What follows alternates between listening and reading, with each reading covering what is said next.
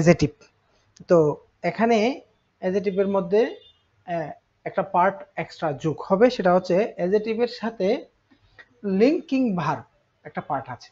মূলত আমরা আজকে তিনটা বিষয়, আমাদের আলোচ্য বিষয়। একটা হচ্ছে adjective or basics of adjective আর একটা হলো লেটিন এজেটিভ লেটিন এজেটিভ কি?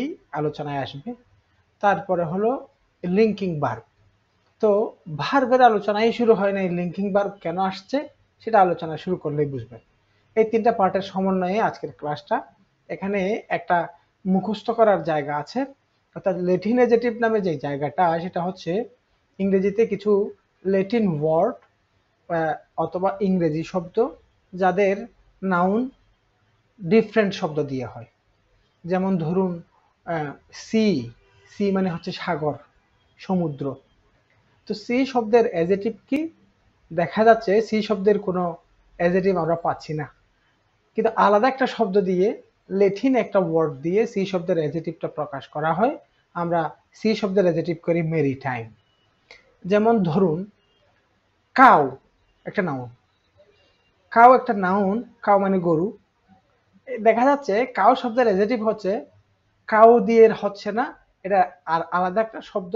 শব্দটা হচ্ছে বৌবিন।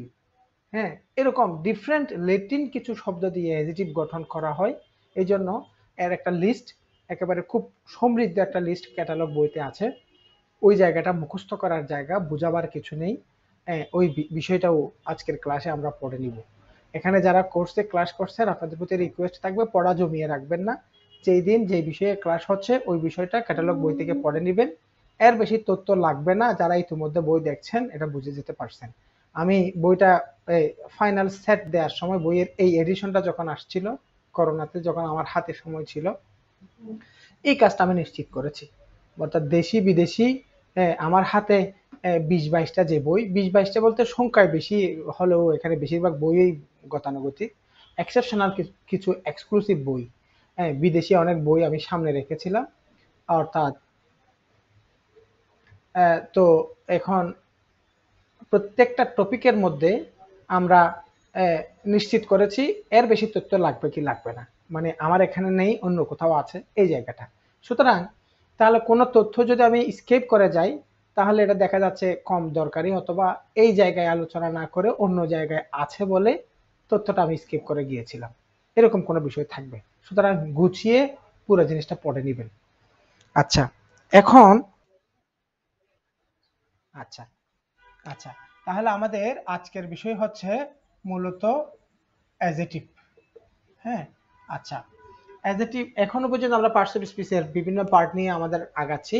আমাদের মূলত অধ্যায় বাই অধ্যায় যাচ্ছে, এই জন্য গুছিয়ে পড়ানো হয়। ইভেন কোনো একটা কোচিংয়ে কোনো একটা কোর্সে কোনো জায়গায় ক্লাস করানোর সময়ে এরকম টপিক বাই টপিক কিন্তু ওভাবে পড়া হয় না। এই কোর্সের বা এই ক্লাসগুলোর গুরুত্বটা এখানেই। ইভেন মুখস্থ যে জায়গাটা, ওটাও এখানে দেখিয়ে দেওয়া হবে। ওভাবেই আমরা আগাবো। তো অ্যাজেটিভ বিষয়টা হলো মূলত আমরা আমাদের যে আট প্রকার পার্ট অফ স্পিচ আছে নাউন প্রনাউন এরপরে আমরা দেখি ভার্ব এরপরে হচ্ছে অ্যাজেটিভ এবং অ্যাডভার্ব এরপরে হচ্ছে প্রেপোজিশন এবং কনজাংশন এরপরে হচ্ছে ইন্টারজেকশন এই আট প্রকার পার্টস অফ স্পিচকে আমরা চিনি। এখন আমরা যখন একটা সেন্টেন্স গঠন করি সেন্টেন্সের মধ্যে আমরা মনে করেন একটা সাবজেক্ট থাকে, এরপরে আমরা একটা ভার্ব বসাই, এরপরে আমরা একটা অবজেক্ট বসাই, এরপরে আমরা একটা মডিফায়ার বসাই। এই হচ্ছে ইংরেজি সেন্টেন্সের বেসিক স্ট্রাকচার মডিফায়ার আচ্ছা এখন এই যে আট প্রকার পার্টস অফ স্পিচগুলো আছে এই আট প্রকার পার্টস অফ স্পিচ থেকে বাক্যের মধ্যে কে কোথায় বসবে, কে কীভাবে কাজ করবে, এই জিনিসটা একটু এক দেড় মিনিট বা দুই মিনিট একটু রিভাইজ করে নেই। তারপরে এজেটিভের কাজ কি তা জেনে আমরা এজেটিভের দিকে চলে যাব। তাহলে আমরা দেখতে পাচ্ছি একটা বাক্যে একটা সাবজেক্ট থাকে, একটা বাক্যে একটা কি থাকে? অবজেক্ট থাকে। সাবজেক্ট যে জায়গাটা, এখানে বসবে এই শব্দটা। অর্থাৎ নাউন বা প্রনাউন সাবজেক্ট হবে নাউন বা প্রনাউন অবজেক্ট হবে। তাহলে সাবজেক্ট হওয়া এবং অবজেক্ট হওয়া এই কাজ হচ্ছে কার? নাউন বা প্রনাউনের আর এই যে ভার্ব আছে ভার্বের জায়গায় ভার্বই বসবে। আর কোনো শব্দ ভার্বের জায়গায় আসবার সুযোগ নেই। আচ্ছা এবার মডিফায়ার হিসাবে মডিফায়ার বলতে যে জিনিসটা, এখানে আমরা বসাবো কাকে? অ্যাডভার্বকে তাহলে আমরা পেয়ে গেছি নাউন প্রনাউন সাবজেক্ট হয় নাউন প্রনাউন অবজেক্ট হয়। ভার্বের জায়গায় ভার্ব বসে মডিফায়ার হিসাবে কে বসে? অ্যাডভার্ব বসে। আচ্ছা এখন এখন অ্যাজেটিভ কোথায় বসে? এবং প্রেপোজিশন কনজাংশন ইন্টারজেকশন এরা কোথায় বসে? এই বিষয়টা। তাহলে দেখুন তো, আমরা সাবজেক্ট পজিশনে নাউন প্রনাউনকে বসিয়েছি, বললাম।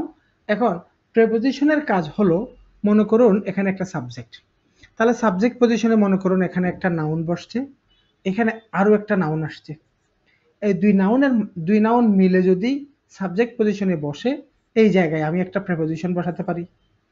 মনে করুন অবজেক্ট পজিশন এখানে একটা নাউন আসছে, এখানে আরও একটা নাউন আসছে। এই দুই নাউনের মাঝখানে সংযোজক হিসাবে এখানে একটা প্রেপোজিশন বসাতে পারি। তাহলে প্রেপোজিশনের একটা কাজ পাইলাম। প্রেপোজিশন মূলত দুইটি নাউনের মাঝখানে সংযোগ স্থাপন করার জন্য বসে। আবার ধরুন, এখানে মডিফায়ার হিসাবে অ্যাডভার্ব বসে। এই জায়গাটাতে মনে করুন এখানে একটা নাউন আসছে। এই নাউনের আগে আমি মনে করেন একটা প্রেপোজিশন দিলাম। তাহলে প্রেপোজিশন প্লাস নাউন মিলে এই জায়গায় মডিফায়ারের ভূমিকায় অ্যাডভার্ব হিসাবে আসবে। তার মানে এই প্রেপোজিশনটা নাউনটার আগে বসছে, এই প্রেপোজিশনটা এই নাউনের আগে বসছে, এই প্রেপোজিশনটা এই নাউনের আগে বসছে। ব্যাপারটা এরকম, এই প্রেপোজিশন এই নাউনকে এই নাউনের সাথে সম্পর্ক করাবে, এই প্রেপোজিশন এই নাউনকে এই নাউনের সাথে সম্পর্ক করাবে, এই প্রেপোজিশন এই প্রেপোজিশনটা এই নাউনকে সেন্টেন্সের সাথে সম্পর্ক করাবে। তাহলে আট প্রকার পার্ট অফ স্পিচের মধ্যে প্রেপোজিশনের কাজ হলো নাউনকে যুক্ত করা নাউনের আগে বসে। তাহলে বাক্যের মধ্যে সে কোথায় বসবে?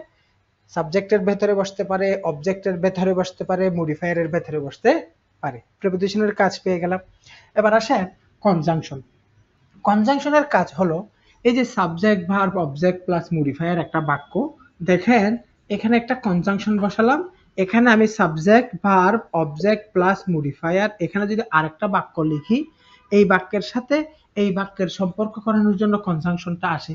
তাহলে বাক্যের সিম্পল সেন্টেন্সের যে স্ট্রাকচার ওখানে কিন্তু আমাদের কোনো কি আসবে না, কোনো কনজাংশন আসবে না। তাহলে আমরা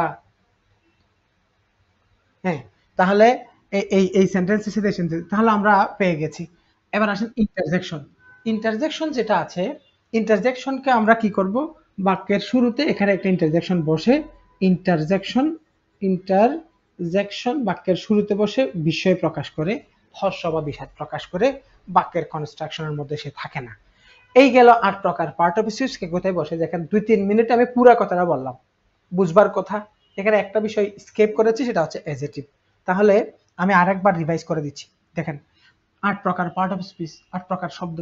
নাউন বা প্রনাউন সাবজেক্ট পজিশনে বসবে নাউন বা প্রনাউন অবজেক্ট পজিশনে বসবে। ভার্বের জায়গায় ভার্ব বসবে।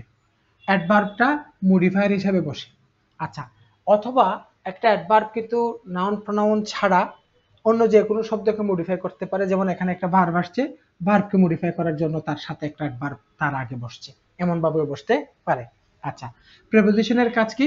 প্রেপোজিশনের কাজ হচ্ছে নাউনকে সংযুক্ত করা নাউনকে সংযুক্ত করবার জন্য সে সাবজেক্টের ভেতরে ঢুকে যেতে পারে। দুইটা নাউন মিলে একটা সাবজেক্ট, মাঝখানে প্রেপোজিশন দুইটা নাউন মিলে একটা অবজেক্ট মাঝখানে প্রেপোজিশন প্রেপোজিশন এবং নাউন মিলে মডিফায়ার এখানে একটা প্রেপোজিশন তার মানে প্রেপোজিশনের কাজ হচ্ছে বাক্যস্থিত নাউনের আগে বসে বাক্যের অন্যান্য শব্দের সাথে ওই নাউনটাকে সম্পর্ক করানোটা একটা প্রেপোজিশনের কাজ। একটা প্রেপোজিশন সিম্পল সেন্টেন্সেও আসতে পারে। আচ্ছা এবার বাকি রইল কনজাংশন কনজাংশনের কাজ হচ্ছে এটা একটা বাক্য, এটা আরেকটা বাক্য, এই বাক্যের সাথে এই বাক্যের সম্পর্ক করাবে কে? কনজাংশন এরপরে আমাদের আছে কি? ইন্টারজেকশন ইন্টারজেকশন বাক্যের ভেতরে থাকে না ইন্টারজেকশন বাক্যের শুরুতে বসে বাক্যে মনের হর্ষ বা বিষাদ প্রকাশ করে। আচ্ছা এবার আসো, আমাদের বাকি আছে কি? এজেটিভ আজকের বিষয়বস্তু হচ্ছে এজেটিভ তাহলে স্যার, বাক্যের মধ্যে এজেটিভের কাজটা কি? আচ্ছা আমরা সকলে জানি এজেটিভ হচ্ছে একটা মডিফায়ার এজেটিভ হচ্ছে নাউন সম্পর্কে তথ্য দেয়। তাহলে এজেটিভ নিয়ে এজেটিভের জায়গাগুলো একটু দেখো। তাহলে আমরা এর মধ্যে যে কথাটুকু গুলো বলেছি, আট প্রকার পার্ট অফ স্পিচ বাক্যের মধ্যে কে কোথায় বসবে, এই নিয়ে কথা বলেছি। এখন আমাদের বাকি আছে কি? এজেটিভ এখন দেখো এজেটিভের কাজ হলো এই নাউনকে মডিফাই করা। এজেটিভের কাজ হলো নাউনকে মডিফাই করা। তাহলে নাউনকে মডিফাই করবার জন্য, তাহলে আমরা যদি জানি, আমরা যদি আমাদের কাছে যদি জানা থাকে সাবজেক্ট পজিশনে নাউন বসে অবজেক্ট পজিশনে নাউন বসে, এই যে নাউনগুলো বসছে, এই যে বাক্যের মধ্যে এখানে যে নাউনটা আসবে, তার আগে এই নাউনকে মডিফাই করার জন্য একটা এজেটিভ বসবে। এখানে যে নাউনটা আসছে, তাকে মডিফাই করার জন্য একটা, এখানে একটা এজেটিভ বসবে। তাহলে এজেটিভের দুইটা জায়গা পেয়েছি। ভালোভাবে খেয়াল করবেন, গতানুগতিক গ্রামাটিক্যাল স্ট্রাকচার মুখস্থ করার মতো কোনো কথা বলা হচ্ছে না। How this structures actually function এটা দেখানো হচ্ছে। প্রায়োগিক বিষয়গুলো। আসলে আমরা কীভাবে কাজে লাগাই? বাস্তব বাক্যের মধ্যে গ্রামারটা আসলে কীভাবে কাজ করে? ওভাবে কথাগুলো বলা হচ্ছে। একটু মনোযোগ থাকলে খুব ইজিলি জিনিসগুলো আর ভুল হবে না। কমন সেন্স থেকে শুদ্ধটা চলে আসবে। হ্যাঁ তাহলে সাবজেক্ট পজিশনে নাউন বসে, তার আগে একটা এজেটিভ বসালাম। অবজেক্ট পজিশনে যে নাউন বসে, তার আগে একটা এজেটিভ বসালাম। তাহলে সেন্টেন্সের মধ্যে আমরা এজেটিভের জন্য এজেটিভের জন্য দুইটি জায়গা পেয়েছি। দুইটি জায়গা পেয়েছি। সাবজেক্ট পেয়েছি। মনে করুন, আমি লিখলাম বুক বুক ইজ বুক ইজ লিখলাম কি? আ বেস্ট ফ্রেন্ড একটা সেন্টেন্স লিখলাম। এখন book is a best friend এই যে সেন্টেন্সটা এই সেন্টেন্সে ইজ হচ্ছে ভার তাহলে বুক হচ্ছে সাবজেক্ট বুক হচ্ছে কি? সাবজেক্ট যেহেতু সাবজেক্ট এটা একটা নাউন কারণ সাবজেক্ট পজিশনে নাউন বসে, এটা একটা নাউন এই নাউনের আগে আমি বললাম আ, বুক। তাহলে এই যে আ শব্দটা, দেখেন, এটা এজেটিভ এটা নাউন বুক শব্দটা নাউন এই শব্দটা এজেটিভ আ আচ্ছা। এখন এই বাক্যের মধ্যে দেখা যাচ্ছে ইজ যদি ভার্ব হয়, এখানে ফ্রেন্ড একটা নাউন ফ্রেন্ড শব্দটা নাউন এই নাউনের আগে যে শব্দটা বসছে, এই শব্দটা এজেটিভ এখানে আরও একটা শব্দ পাচ্ছি। এই শব্দটাও adjective a friend best friend দুইটা শব্দই মূলত ফ্রেন্ডকে মডিফাই করছে। এই জন্য আমরা এখানে দুইটা শব্দকেই এজেটিভ ধরবো। তাহলে আমরা বাক্যের মধ্যে এই যে subject verb object plus modifier হিসেবে যে বাক্যের গঠন, এখানে নাউন যে জায়গায় বসে নাউনকে মডিফাই করার জন্য তার আগে আমরা একটা এজেটিভকে এনেছি। ঠিক না? তাহলে এজেটিভের কাজ হলো নাউনকে মডিফাই করা। এজেটিভের কাজ হলো কি করা? নাউনকে মডিফাই করা। এবার এবার খেয়াল করেন। এটুকু কথা বোঝা গেছে? বোঝা গেছে কিনা? আচ্ছা হ্যাঁ। তাহলে আমরা দেখতে পাচ্ছি, আমি লিখলাম একটা শব্দ বুক তাহলে আমি একটা শব্দ লিখলাম ইনফরমেটিভ তাহলে ইনফরমেটিভ বুক তাহলে ইনফরমেটিভ শব্দটা কি হলো? এজেটিভ কারণ নাউনের আগে বসে যা নাউনকে যে মডিফাই করে সে কি?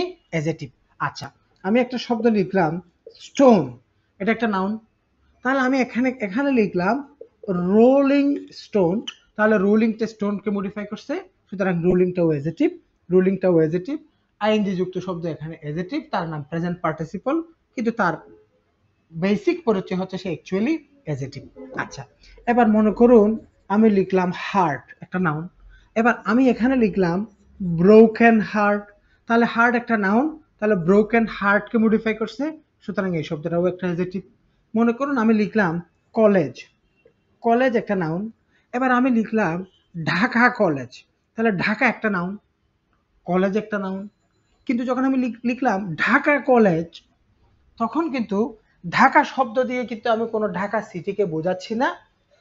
কলেজের একটা বিশেষণ হিসেবেই তাকে এনেছি। সুতরাং ঢাকা একটা নাউন হওয়া সত্ত্বেও এখানে সে এজেটিভ কারণ সে আরেকটা নাউনকে কি করছে? মডিফাই করছে।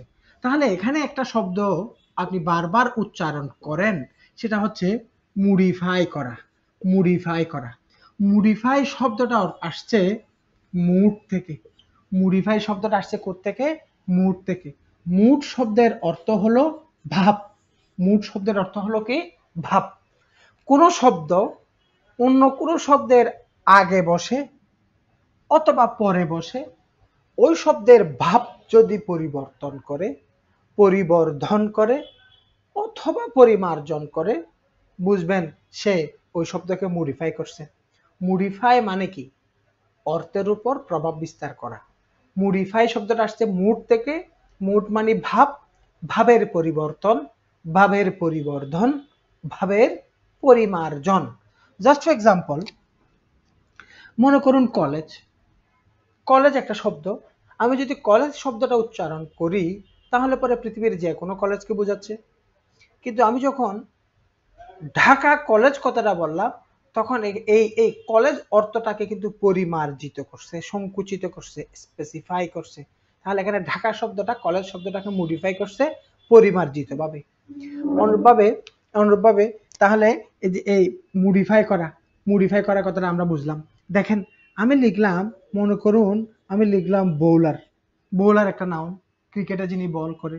এবার আমি লিখলাম, মনে করুন ফার্স্ট বোলার তাহলে ফার্স্ট একটা শব্দ সে এমনিতেই ফার্স্ট শব্দটা অ্যাডভার্ব নেয়ার দেয়ার হেয়ার সোন ফার্স্ট এরা কিন্তু জন্মগতভাবে কি?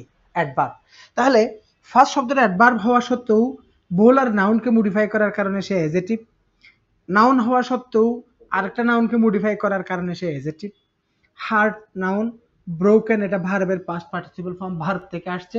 তাও সে একটা নাউনকে মডিফাই করছে, তাই সে এজেটিভ আইএনজি যুক্ত শব্দ আইএনজি যুক্ত শব্দকে আমরা ভার্ব হতে দেখি we are watching television we are watching এখানে ওয়াচিং তো ভার্ব উই আর যুক্ত হয়ে।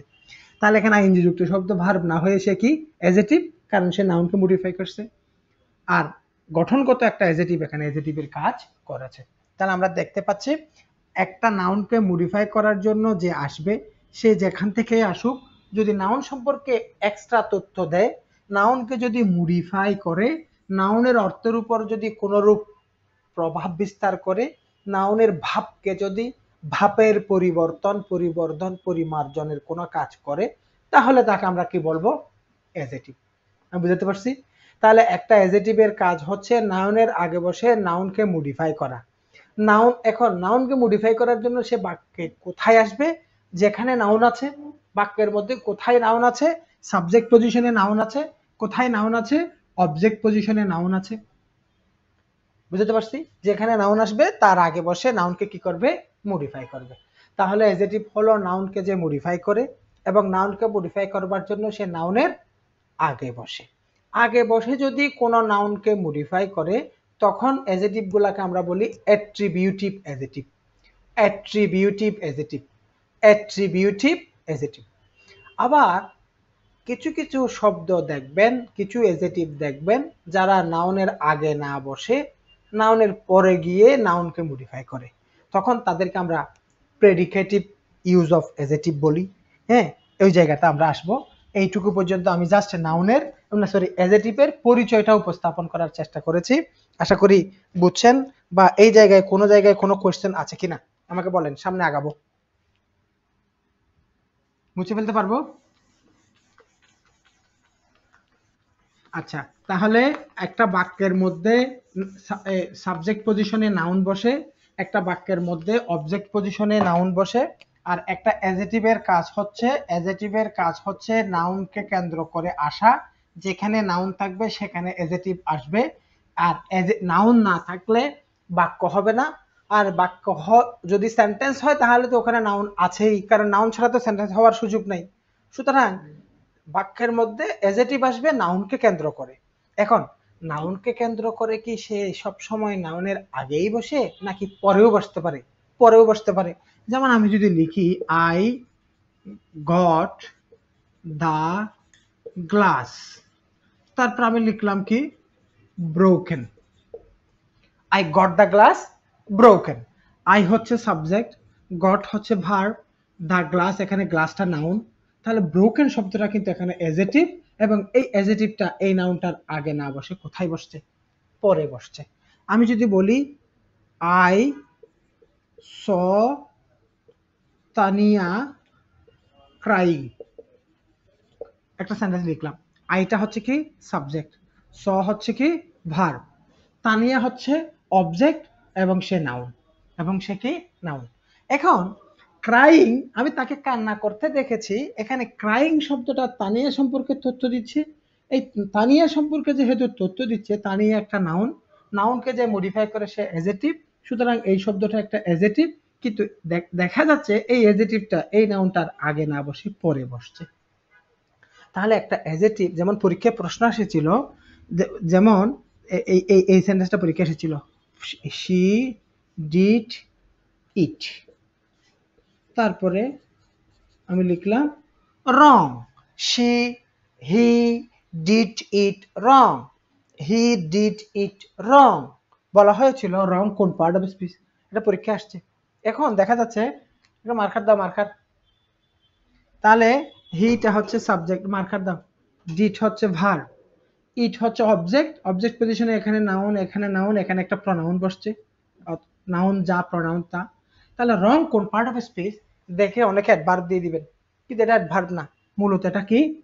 অ্যাজেটিভ পরীক্ষা আসছিল, এবার ঝামেলা আছে। দেখে সহজ মনে হলেও পরীক্ষার হলে ঠিক ভুল করবেন এমন জায়গা। দেখেন রং দেখেন হি ডিড ইট রং এটার অর্থ হচ্ছে সে ইহা ভুল করেছে। সে ইহা ভুলভাবে করেছে নয়। ভুলভাবে হলে তো রংলি হতো। ঠিক না? তাহলে এখানে দেখা যাচ্ছে অ্যাজেটিভটা নাউন প্রনাউনের পরে বসছে নাউন প্রনাউনের পরে বসছে নাউন প্রনাউনের পরে বসছে। তাহলে অ্যাজেটিভ হচ্ছে নাউনকে যে মডিফাই করে। নাউনকে মডিফাই করবার জন্য নাউনের আগে যেমন বসে নাউনের পরেও বসতে পারে। একটা অ্যাজেটিভ নাউনকে মডিফাইকারী সে দেখতে যেমনই হোক, যেখান থেকেই আসুক, যদি সে নাউনকে মডিফাই করে, তাহলে তাকে আমরা অ্যাজেটিভই বলব। এবং একটা সেন্টেন্সের মধ্যে একটা অ্যাজেটিভ আসবার জন্য একটা নাউন লাগবে নাউনকে কেন্দ্র করেই আসবে। এবং আমরা দেখতে পেয়েছি একটা সেন্টেন্সে এই যে সাবজেক্ট আছে সাবজেক্ট পজিশনে নাউন মন দিয়ে শুনবেন, এখন দ্বিতীয় স্টেপে কথা শুরু হচ্ছে।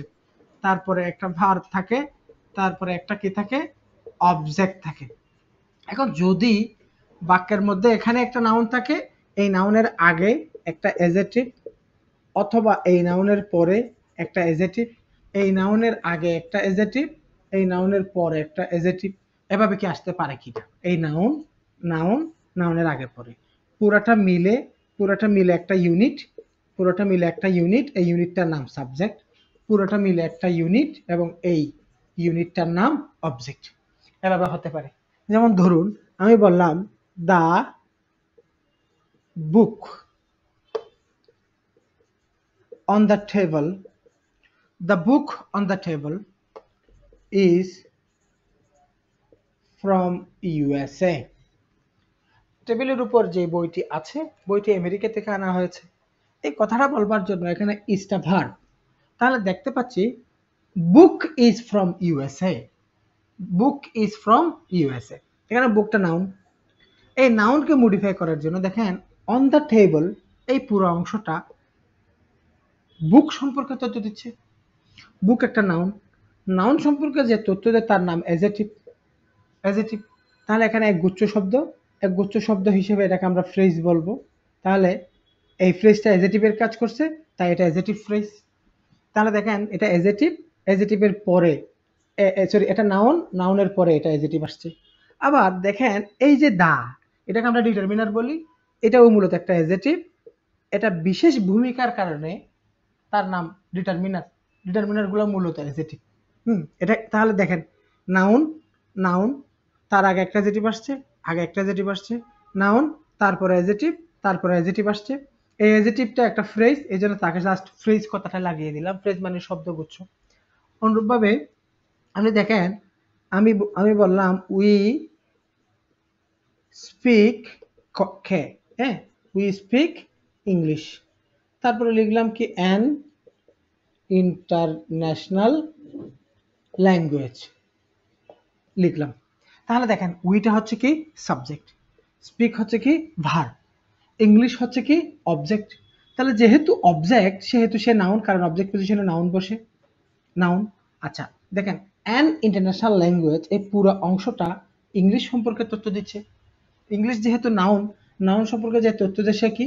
এজেটিভ এজেটিভ তাহলে এখানে একটা শব্দ না, এক গুচ্ছ শব্দ জাস্ট শব্দ গুচ্ছ কথাটা লাগিয়ে দিলাম, এটা হচ্ছে এজেটিভ ফ্রেজ তার মানে হলো একটা সেন্টেন্সে নাউনকে মডিফাই করার জন্য যে আসবে তাকে আমরা অ্যাজেটিভ বলব। অ্যাজেটিভটা নাউনটার আগে বসে অথবা পরে বসে। অ্যাজেটিভ একটি মাত্র শব্দ হয়ে যেমন আসে, একাধিক শব্দ এক গুচ্ছ শব্দ দলবদ্ধভাবে এসে একটা নাউনকে মডিফাই করবার জন্য বাক্যে আসতে পারে। যখন সে গ্রুপ অফ ওয়ার্ড এক গুচ্ছ শব্দ যখন একটি নাউনকে মডিফাই করে, তখন তাকে আমরা অ্যাজেটিভ ফ্রেজ বলব। যেমন, পরীক্ষায় প্রশ্ন এসেছিল, যেমন, দেখেন আমি লিখলাম আই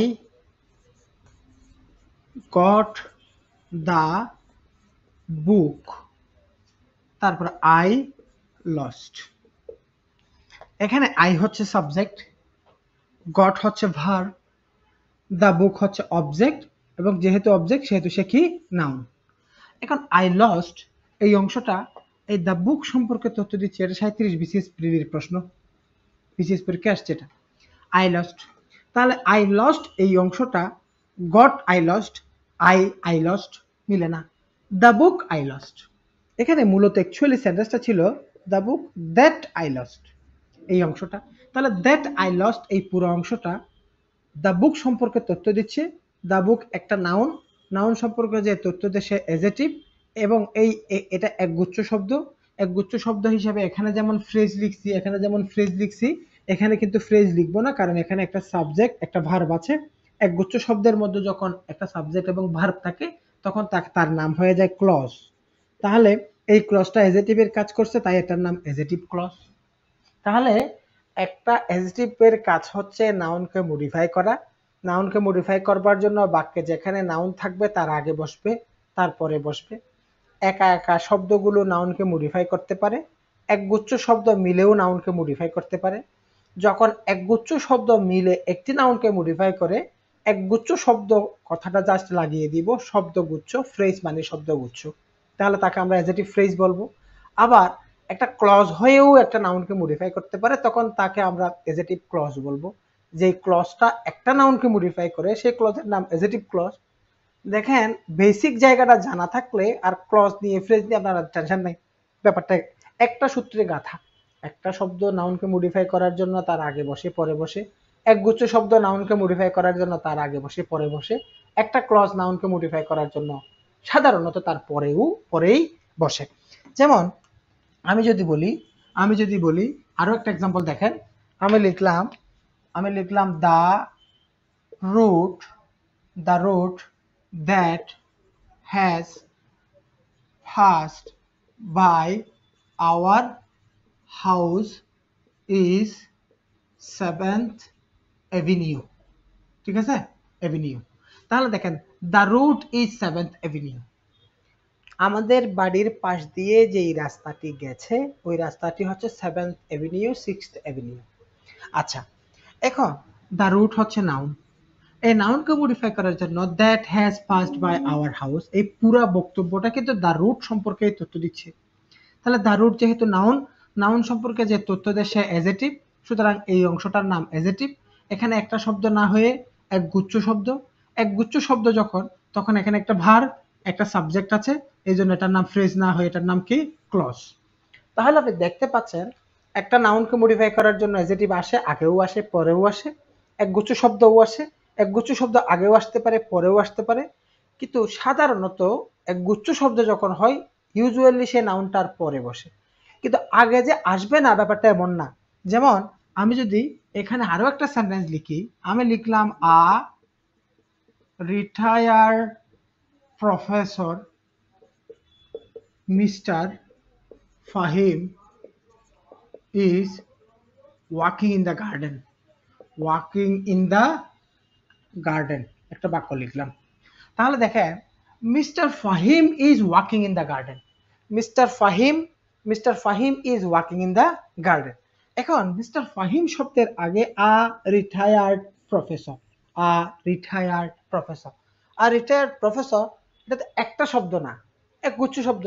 পুরা আর রিটায়ার্ড প্রফেসর কে মিস্টার ফাহিম তাহলে এটা একটা নাউন এই নাউনের আগে, এই নাউনের আগে এখানে সে এজেটিভ এবং আ রিটায়ার্ড প্রফেসর এখানে একটা শব্দগুচ্ছ শব্দগুচ্ছ হিসাবে তার নাম, শব্দগুচ্ছ তার নাম ফ্রেজ তাহলে এটা এজেটিভ ফ্রেজ তাহলে নাউনের আগে এজেটিভ ফ্রেজ বসছে। এখানে দেখেন এখানে দেখেন, দা বুক নাউনের পরে এজেটিভ ফ্রেজ বসছে। অনুরূপভাবে নাউন নাউনের পরে এজেটিভ ফ্রেজ বসছে। অনুরূপভাবে নাউন নাউনের পরে এজেটিভ ক্লজ বসছে। এটা একটা এজেটিভ ক্লজ আবার নাউন নাউনের পরে এজেটিভ ক্লজ বসছে। তাহলে দেখেন এবার example one example two example three example four লিখছেন কিনা দেখেন, বইতে সব কথা থাকবে না, একটু লিখে রাখতে হবে। লিখছেন, লেখা শেষ হলে আওয়াজ দেন।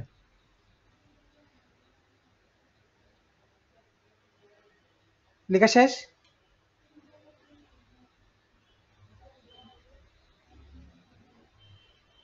আপনারা কি শুনতে পাচ্ছেন? লাইনে আছেন? আচ্ছা তাহলে ব্যাপারগুলো কঠিন না। ব্যাপারগুলো হচ্ছে সহজ এবং আমি এতক্ষণে কি বোঝাতে চেয়েছি এই বিষয়টা আমি একটু সামারি করব। এখন কি বোর্ডের লেখা মুছে ফেলতে পারব? বলেন। হ্যাঁ ভিডিও দেখেও আচ্ছা আচ্ছা আচ্ছা ঠিক আছে। গুড।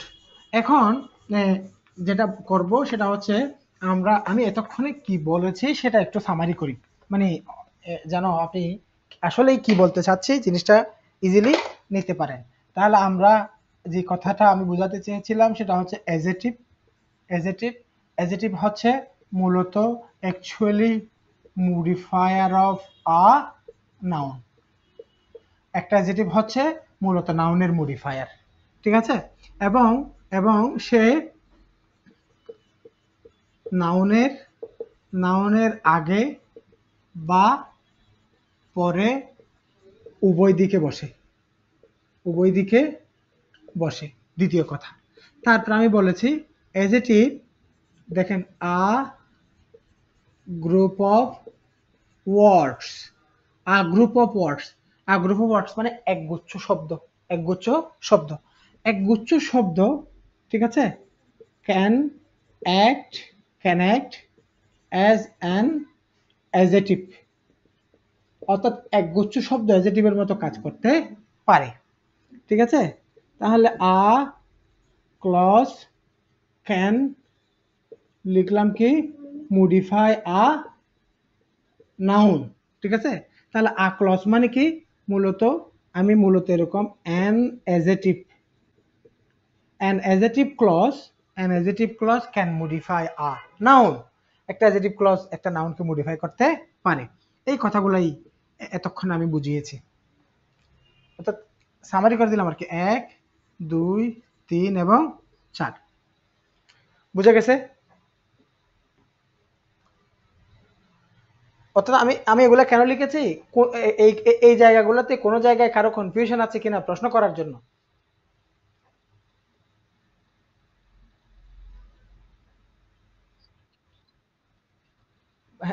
হ্যাঁ, জি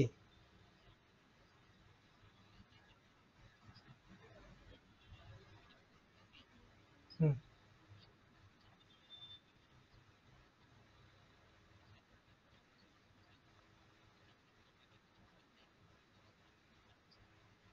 হুম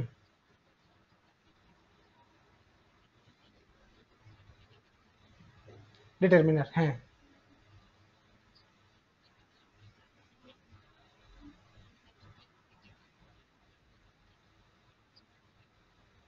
না। এই জন্য অর্থাৎ আর্টিকেলের পরে একটি মাত্র শব্দ নাউন হয়, তারপরে হচ্ছে তিনটি তিনটি শব্দ, প্রথমটা ডিটারমিনার মাঝখানেটা অ্যাজেটিভ তৃতীয়টা নাউন হয়, দির পরে একমাত্র শব্দ নাউন হয়। এই জিনিসগুলো হচ্ছে সহজে আয়ত্তে আনার জন্য টিচারদের বলা কথা। পৃথিবীতে মনে রাখবেন কোনো স্ট্রাকচার পরিপূর্ণ না। একটা একমাত্র স্ট্রাকচার আছে, যে স্ট্রাকচারটা পরিপূর্ণ, সেটা হচ্ছে পৃথিবীতে কোনো পরিপূর্ণ স্ট্রাকচার নাই। বুঝতে পারছি? হ্যাঁ। এখন এই জন্য ওই টাইপের অর্থাৎ গ্রামারকে আপনি ওভাবে চিন্তা করবেন না গ্রামারকে আপনি সেভাবেই চিন্তা করবেন, যেভাবে আমি বলছি। আমি দেখাচ্ছি ইমপ্লিমেন্ট আপনি জাস্ট কীভাবে জিনিসগুলো কাজ করে, ঠিক আছে? তাহলে আমাদের I got the glass broken এখানে এটা হচ্ছে দা ব্রোকেন গ্লাস ঠিক আছে? তাহলে এখানে দেখেন I got the broken glass হ্যাঁ আমি একটা ভাঙ্গা গ্লাস পেয়েছি। অর্থ কিন্তু এক না। I got the broken glass এটার অর্থ হচ্ছে কি, সবাইকে একটা একটা গ্লাস দেয়া হচ্ছে, কিন্তু আমাকে যে গ্লাসটা দেয়া হয়েছে ওটা ভাঙ্গা। সবাইকে একটা একটা গ্লাস বিতরণ করা হচ্ছে, আমাকে যে গ্লাসটা দেয়া হয়েছে ওটা ভাঙ্গা। কিন্তু উপরের সেন্টেন্সটার অর্থ হচ্ছে আমি গ্লাসটা ভাঙ্গা অবস্থায় পেয়েছি। আমি ভাঙি নাই হ্যাঁ ব্যাপারটা এরকম। সুতরাং এখানে ব্রোকেন শব্দটাকে এম্পাসাইজ করার জন্যই মূলত এটাকে পরে নেওয়া হয়েছে। ঠিক আছে? আই অথবা অর্থের পরিবর্তনের জন্য। সুতরাং জিনিসগুলোকে শুধুমাত্র এক এক, দুইটা স্ট্রাকচারের মধ্যে সীমাবদ্ধ না রেখে অর্থ বুঝে, শব্দের অবস্থান বুঝে জিনিসগুলোকে আমাদেরকে ভাবতে হবে। তাহলে আমি সামনের দিকে আগাই। তাহলে একটা, এই এই জিনিসটা আমরা সকলে বুঝি। নাউনের আগে বা পরে উভয় দিকে বসতে পারে, এই জিনিসটা আমরা মাথায় রাখব। এই জিনিসটা, এটা নিয়েই একজন প্রশ্ন করল এখন। অর্থাৎ নাউনের আগে যেমন বসে, নাউনের পরেও বসে। ইভেন এর মধ্যে চল্লিশ চল্লিশ থেকে চুয়াল্লিশ পর্যন্ত যে কয়টা প্রিলি গেছে এই প্রশ্নগুলোর মধ্যেও এজেটিভ থেকে একাধিকবার প্রশ্ন এসেছে। এজেটিভ ফ্রেজ এবং ক্লজ দুইটাই পরীক্ষার প্রশ্নে আসতে দেখেছি আমরা। যেমন সাঁত্রিশের একটা দিয়ে এক্সাম্পল দিলাম। এখানে এজেটিভ ফ্রেজ বা ক্লজ সাধারণত নাউনটার পরে বসে। এজেটিভ ফ্রেজ বা ক্লজ সাধারণত যে নাউনকে মডিফাই করবে তার পরে বসবে। তারপরে হচ্ছে a group of words can act as an adjective অর্থাৎ একগুচ্ছ শব্দ আ গ্রুপ অফ ওয়ার্ড মানে ফ্রেজ একটা কথা শুনেন ফ্রেজ মানে কি? শব্দগুচ্ছ এমন এক গুচ্ছ শব্দ, যে শব্দগুচ্ছের ভূমিকা হবে একটি শব্দের মতো। তখনই তাকে আপনি ফ্রেজ বলবেন। ফ্রেজ মানে এমন এক গুচ্ছ শব্দ যে শব্দগুচ্ছের মধ্যে অবস্থানগত অর্থাৎ বাক্যের মধ্যে তারা এক একসাথে এক নাগারে বসবে, মাঝখানে কোনো সেপারেটর থাকবে না। অবস্থানগত, অর্থগত ভূমিকা থাকবে একটা শব্দের মতো। দুই তিনটি শব্দ মিলে একটি শব্দের কাজ করবে। একটা নাউন যে কাজটা করে, এক গুচ্ছ শব্দ যদি সেই কাজটা করে, তাহলে তাকে নাউন ফ্রেজ বলব। একটা ভার্ব যে কাজ সম্পাদন করে, এক গুচ্ছ শব্দ যদি ওই কাজটা করে, তাহলে তাকে আমরা ভার্ব ফ্রেজ বলব। এক গুচ্ছ একটা এজেটিভ যে কাজটা সম্পাদন করে এক গুচ্ছ শব্দ যদি এজেটিভের কাজটা সম্পাদন করে, তাহলে তাকে আমরা এজেটিভ ফ্রেজ বলব। এভাবে পার্টস অফ স্পিচ আট প্রকার। এক গুচ্ছ শব্দ যে পার্টের মতো কাজ করবে, ওই শব্দগুচ্ছের নাম ওই নামেই হবে, ওই ফ্রেজের নাম ওই নামেই হবে। কিন্তু প্রনাউন ফ্রেজ বলতে কোনো ফ্রেজ ধরবেন না, কারণ একগুচ্ছ শব্দ যদি নাউনের মতো কাজ করে, তাকে আমরা নাউন ফ্রেজ বলি। আর প্রনাউন হচ্ছে নাউন যা করে, তাই করে। একই ফ্রেজকে আমরা নাউন ফ্রেজ বলব, আবার প্রনাউন ফ্রেজ বলার সুযোগ নেই। এই জন্য পার্টস অফ স্পিচ আট প্রকার, কিন্তু ফ্রেজ হচ্ছে সাত প্রকার। ফ্রেজ হচ্ছে একাধিক শব্দ যদি একত্রে মিলে একটি শব্দের কাজ করে, তাকে আমরা ফ্রেজ বলব। এই হচ্ছে কথা। এখন আমরা এজেটিভের এবং একটা ক্লজ হচ্ছে ফ্রেজের সাথে পার্থক্য। ক্লজ হচ্ছে এমন এক গুচ্ছ শব্দ যে শব্দগুচ্ছের মধ্যে একটা সাবজেক্ট এবং একটা কি থাকবে? ফাইনাইট বার থাকবে। তাহলে আবারও আমি লিখলাম অ্যাজেটিভ অ্যাজেটিভ তাহলে অ্যাজেটিভের ডেফিনেশন নিয়ে আমি অনেকক্ষণ কথা বলেছি এবং আমি বলেছি এজেটিভ একটি শব্দ হয় এজেটিভ একটি ফ্রেজ হয় এবং এজেটিভ একটি ক্লজ হয়। তাহলে একটি শব্দ হলে তার কাজ কি? তার কাজ কি? নাউনকে মডিফাই করা। একটি ফ্রেজ হলেও তার কাজ নাউনকে মডিফাই করা। একটা ক্লজ হলেও তার কাজ কাকে মডিফাই করা? নাউনকে মডিফাই করা। যেমন আমি বললাম আমি বললাম শি শি মনে করেন got the book that I wanted. she subject got verb, the book object যেহেতু অবজেক্ট সেহেতু সে নাউন এখন দ্যাট আই ওয়ান্টেড এই পুরো অংশটা দ্য বুক সম্পর্কে তথ্য দিচ্ছে। দ্য বুক সম্পর্কে তথ্য দিচ্ছে। তাহলে নাউন সম্পর্কে যে তথ্য দেয়, সে এজেটিভ তাহলে এখানে একটা সাবজেক্ট হ্যাঁ একটা সাবজেক্ট একটা ভার্ব আছে, সুতরাং এখানে এটা এটা কি এজেটিভ ক্লজ তাহলে নাউনটার পরে এসে সে বসল। এ হচ্ছে কথা। এই বিষয়গুলো আমরা এতক্ষণে এই বেসিক কথাগুলো উদাহরণের মাধ্যমে দেখালাম। এখন আমি ডিফারেন্ট কথা নয়, এখন আরও কিছু কথা যোগ করব। কথা কি? সেটা হচ্ছে আজকের ক্লাসের শুরুতেই আমি যে জিনিসটা দেখিয়েছিলাম subject verb object plus modifier এটা হচ্ছে আমাদের বাক্যের গঠন। এখানে নাউন বসে, এখানে নাউন বসে, এখানে অ্যাডভার্ব বসে, এভাবে আমি দেখিয়েছিলাম। এই নাউনের আগে পরে এজেটিভ এই নাউনের আগে পরে এজেটিভ এভাবে বসবে যদি এখানে অবজেক্ট বসে। কিন্তু আমরা সকলে জানি একটা বাক্যের মধ্যে অবজেক্ট থাকবে, এই ব্যাপারটা কিন্তু কম্পালসরি না। একটা বাক্যের মধ্যে প্রথমে সাবজেক্ট বসালাম, তারপরে একটা ভার্ব আসবে। এই ভার্বটা দুই প্রকার। এই ভার্বটা ট্রানজিটিভ হবে, মন দিয়ে শুনবেন বেশি দরকারি কথা। এই ভার্বটা ইনট্রানজিটিভ হবে ইনট্রানজিটিভ হবে, এবং এই ভার্বটা লিঙ্কিং হবে। তিনটা প্রকার। এরপরে এখানে যা যা বসার বসবে, এগুলো আর লাগবে না। হুম এদিকে যা যা বসার বসবে। দেখেন আবারও মনোযোগ দিয়ে সবাই খেয়াল করবেন এবং প্রশ্ন এখনই করবেন, পরে না, এখন। প্রথমে কি বসালাম? সাবজেক্ট তারপরে কি বসাবো? ভার এই ভারটার পরে কি বসবে? এখানে কি অবজেক্ট বসবে? মডিফায়ার বসবে?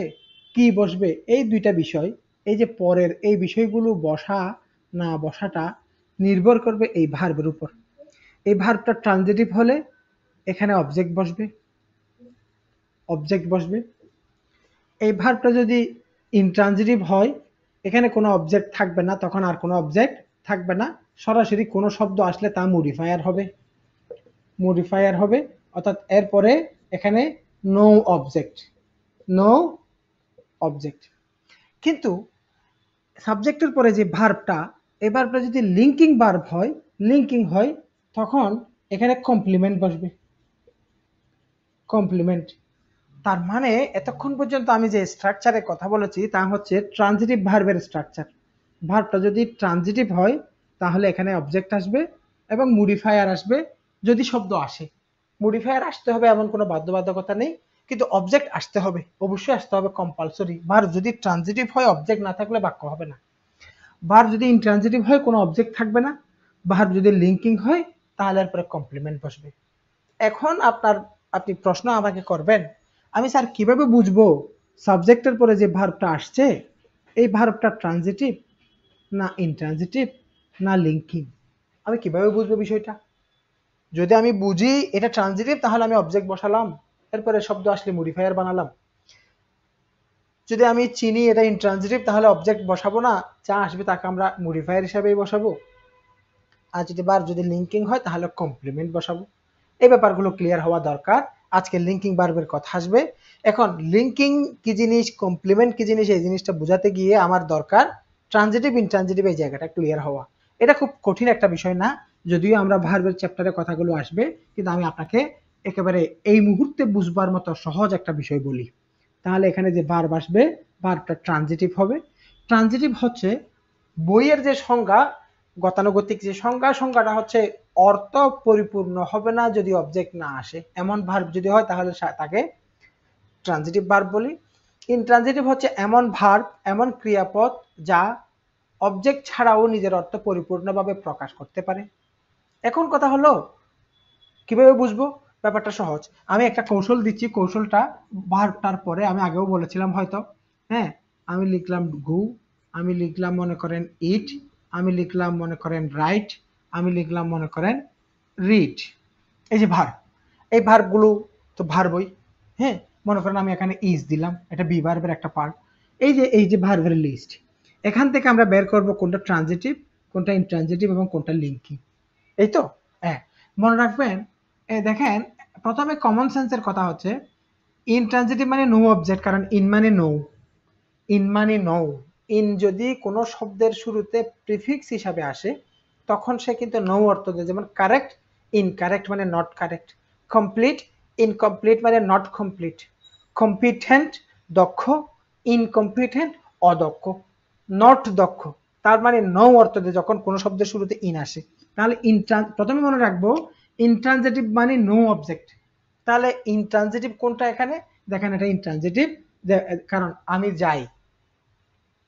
কথাটা, আমি কোথায় যাই প্রশ্ন আসলেও আমি কি যাই প্রশ্ন আসে না। কোথায় শব্দটা অবজেক্ট না, কোথায় শব্দটা অ্যাডভার আমি করি, কিন্তু আমি কি করি প্রশ্ন করলে আসে। এই জন্য এখানে কি, কাকে? কি এবং কাকে দিয়ে প্রশ্ন করলে যে প্রশ্নের উত্তর পাওয়া যায় সে ট্রানজিটিভ কি এবং কাকে দিয়ে প্রশ্ন করলে যেখানে অযৌক্তিক হয় সে ইনট্রানজিটিভ একটা একটা কৌশল।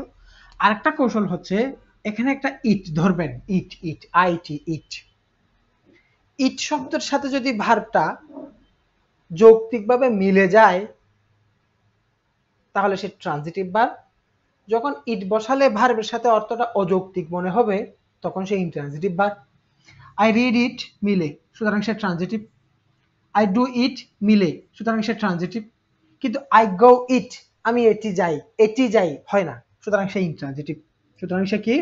ইনট্রানজিটিভ দেখেন আই ইট ইট আমি ইহা খাই মিলে ট্রানজিটিভ আই রাইট ইট মিলে ট্রানজিটিভ কিন্তু আমি যদি বলি আই ওয়াক ইট আমি এটি হাঁটি, না, আমি এখানে হাঁটি, আমি এখন হাঁটি, হয়।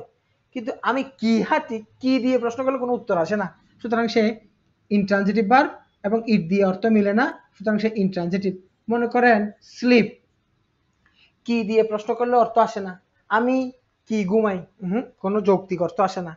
অথবা আই স্লিপ ইট আমি এটি ঘুমাই, অর্থ মিলে না। হ্যাঁ কিন্তু আমি এখানে ঘুমাই, আমি সেখানে ঘুমাই, আমি এখন ঘুমাই, আমি তখন ঘুমাই, সে অন্য ব্যাপার। কিন্তু আমি কি ঘুমাই কোনো অর্থ আসে না। অনুরূপভাবে আই স্লিপ ইট কোনো অর্থ দেয় না। তার মানে সে ইন্ট্রানজিটিভ আশা করি ক্লিয়ার অ্যান্সার পেয়েছেন। ট্রানজিটিভ ইন্ট্রানজিটিভ যেন আর কখনো ভুল না হয়। কারণ যে ট্রানজিটিভ ইন্ট্রানজিটিভ বুঝে না, সে প্রিপোজিশনের ব্যবহার কখনো শুদ্ধভাবে জানবে না। যে ট্রানজিটিভ ইন্ট্রানজিটিভ জানে না, সে অবজেক্ট কোনটা কমপ্লিমেন্ট কোনটা ডিফারেন্সিয়েট করতে পারবে না। যে ট্রানজিটিভ ইন্ট্রানজিটিভ জানে না, ধরতে পারে না, সে কখনো অ্যাক্টিভ কখন প্যাসিভ কখন অ্যাক্টিভ শুদ্ধ অ্যাক্টিভ প্যাসিভ কখনো ধরতে পারবে না। সেন্টেন্স কারেকশন থেকে শুরু করে অনেক জায়গায় তার সমস্যা হবে। এরকম ডিফিকাল্ট এরকম কনফিউজিং একটা জায়গা আজকে থেকে আর সমস্যা হবে না। ক্লিয়ারলি আবারও বলে দিচ্ছি রিপিট করব কথাটা। ভার্বগুলো এগুলা কেউ একজন নিজেকে পিন করছেন। ওবায়দুল হক, আপনি আনপিন করেন। হুম আচ্ছা বলেন, এখানে এই ভার্বগুলো এই ভার্বগুলো থেকে আমরা বাছাই করব কি? ট্রানজিটিভ ইনট্রানজিটিভ এখন ভার্বটাকে আমরা কি অথবা কাকে দিয়ে প্রশ্ন করলেও যৌক্তিক হবে একটা কৌশল। আরেকটা কৌশল হচ্ছে, এই যে শব্দের শেষে ইট শব্দ বসালে অর্থ মিলে গেলে ট্রানজিটিভ না মিলে গেলে না মিললে তখন সে ইনট্রানজিটিভ কিন্তু পরে ইটের যে ব্যাপারটা, এটা একটা কৌশল মাত্র। কিছু ক্ষেত্রে এমন দেখবেন, একটা ইনট্রানজিটিভ বার ইট দিয়ে অর্থ মিলে যাচ্ছে। মনে করুন সি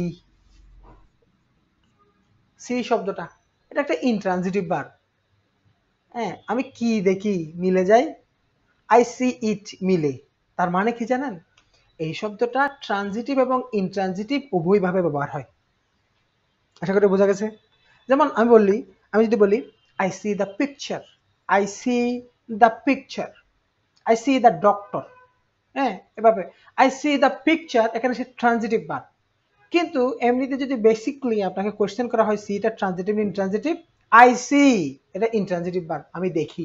কারণ আমার দেখা কাজটা সম্পাদনের জন্য আর কারও সহযোগিতা লাগে না। সুতরাং এটা একটা ইনট্রানজিটিভ বার তাহলে স্যার আমি দেখা যার চোখ নাই, সে কীভাবে দেখবে? যার চোখ নাই, তার দেখার কথা আসবে কেন? ব্যাপারটা এরকম। বুঝতে পারছি? হ্যাঁ। তাহলে আশা করি ট্রানজিটিভ ইনট্রানজিটিভের পার্থক্যটা আর আর ভুলবেন না। এই জায়গাটা এই জায়গাটা খুব ইম্পর্টেন্ট এই জায়গাটা। এবার আসেন, আমরা একটা সেন্টেন্সে এই যে সাবজেক্ট বসাবো সাবজেক্টের পরে ভার্ব বসাবো।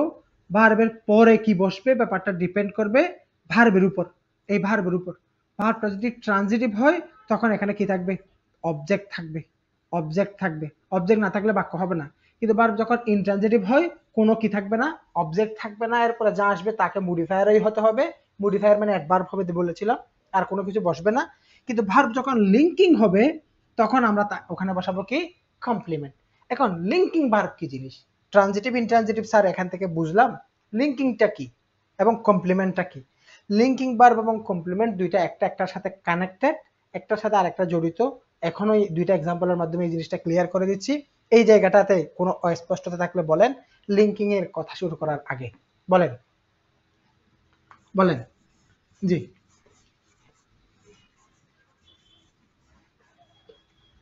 লিঙ্কিং জি। জি। হুম।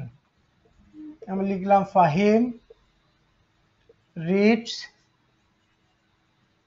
কেমিস্ট্রি একটা সেন্টেন্স আবার লিখলাম, Fahim looks Fahim looks smart smart ঠিক আছে? আবার লিখলাম, Fahim sleeps in the morning এই তিনটা সেন্টেন্স নিয়ে যে কয়টি কথা বলব, এই কথাগুলোতে কোনো মিস করা যাবে না, খুব মনোযোগ ফুল রাখবেন। Fahim subject, read verb, chemistry object. এবং যিনি ফাহিম, তিনি কিন্তু কেমিস্ট্রি না। এবং এই ভারটা একটা ট্রানজিটিভ বার এই ভারটা কি ভার? ট্রানজিটিভ বার ট্রানজিটিভ। এটা একটা ট্রানজিটিভ ভার্ব কারণ হচ্ছে, আমি কি পড়ি মিলে? কি প্রশ্নের উত্তর আছে?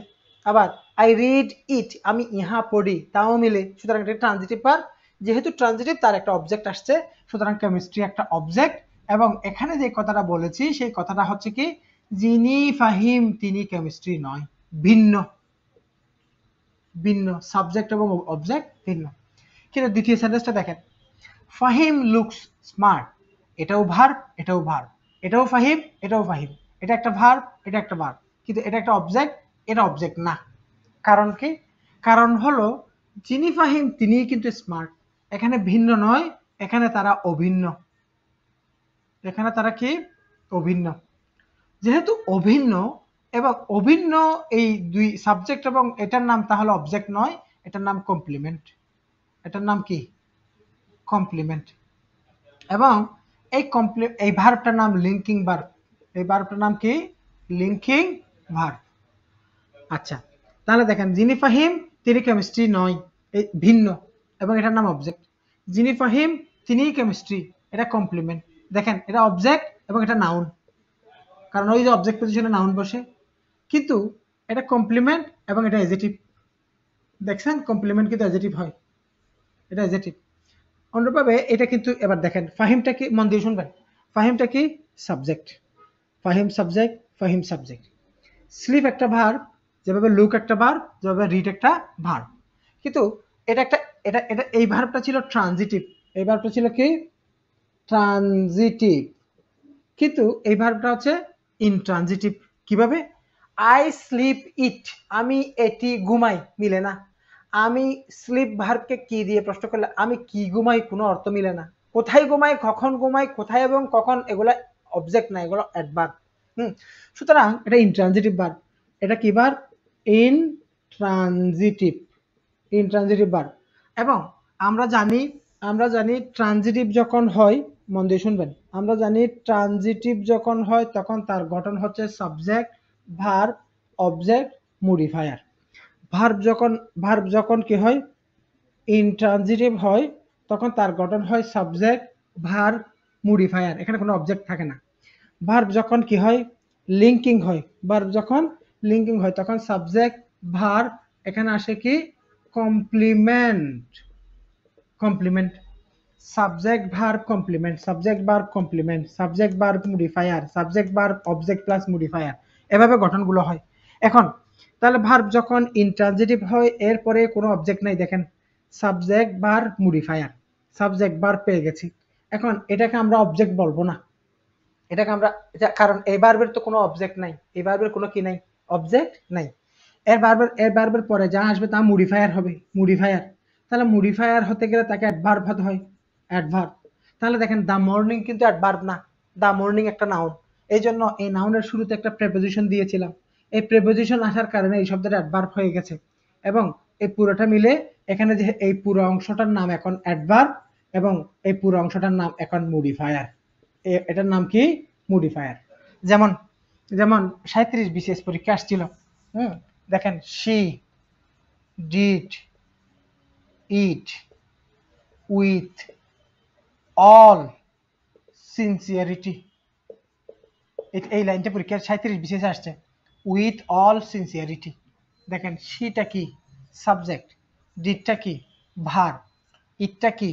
অবজেক্ট তাহলে আমরা জানি সাবজেক্ট বার অবজেক্টের পরে যা আসে তা মডিফায়ার তাহলে মডিফায়ার কিন্তু এখানে দেখেন, এটা একটা নাউন এই নাউনের শুরুতে এটা একটা প্রেপোজিশন নাউনের শুরুতে প্রেপোজিশন দিয়ে নাউনটাকে আমরা অ্যাডভার্ব বানিয়েছি। অ্যাডভার্ব এবং এই এই বাক্যের গঠন কি? সাবজেক্ট ভার অবজেক্ট এবং এরপরে কি? এই এই অ্যাডভার্বটার নাম কি? মডিফায়ার পরীক্ষায় প্রশ্ন আসছিল, এটা কি? এই অংশটার পরিচয় কি? তাহলে মডিফায়ার হলে সে অ্যাডভার্ব এবং এখানে একগুচ্ছ শব্দ হিসাবে এটা একটা ফ্রেজ সুতরাং এটার উত্তর হচ্ছে adverb phrase thirty seven BCS thirty seven BCS তাহলে ট্রানজিটিভ হলে subject verb object modifier subject verb object মনে করেন এখানে একটা মডিফায়ার দিলাম। Fahim reads chemistry in the morning in the morning তাহলে ইন দ্য মর্নিং কি হবে? মডিফায়ার হবে। তাহলে ভার্ব যখন ইন্ট্রানজিটিভ হবে সাবজেক্ট ভার্ব মডিফায়ার হবে।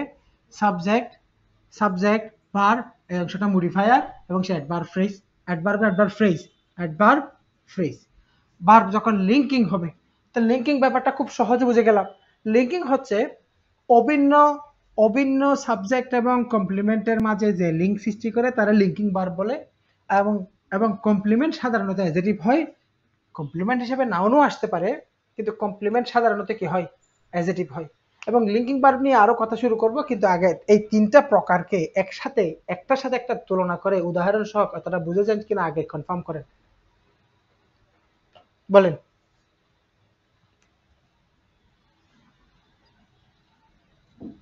বুঝছেন কিনা এটা কিন্তু খুব দরকারি একটা জায়গা ছিল। হুম। বলেন।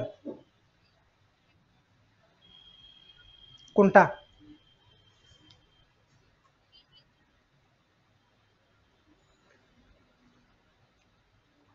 কোনটা? সি ডিড এটা? এটা হচ্ছে যে সি শি হচ্ছে সাবজেক্ট। অপশনে